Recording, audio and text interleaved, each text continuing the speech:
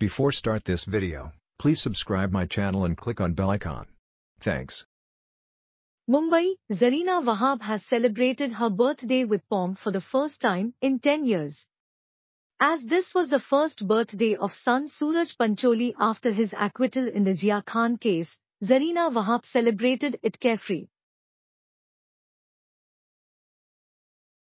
There was no festival or celebration in our family for 10 years. At that time the sword was hanging over us, we were in no condition to think of any celebration.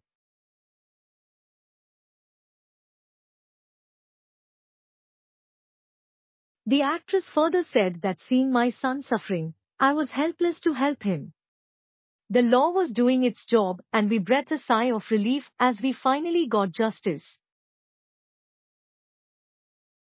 Thanks for watching. Please subscribe my channel for more Bollywood Masala news.